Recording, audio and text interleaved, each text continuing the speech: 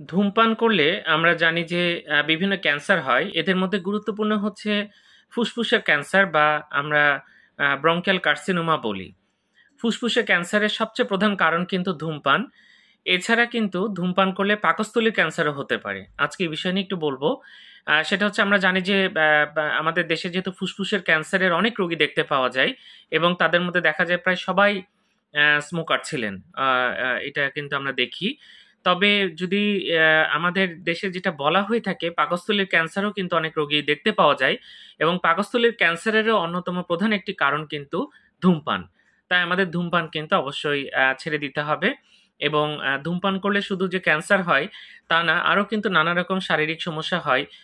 COPD বলে একটা অসুখ আছে যেখানে খুব বেশি কাশি, শ্বাসকষ্ট এগুলো থাকে। সেই অসুখও কিন্তু ধূমপান করলে হতে পারে। তাই আমাদের অবশ্যই ধূমপান ত্যাগ করতে হবে।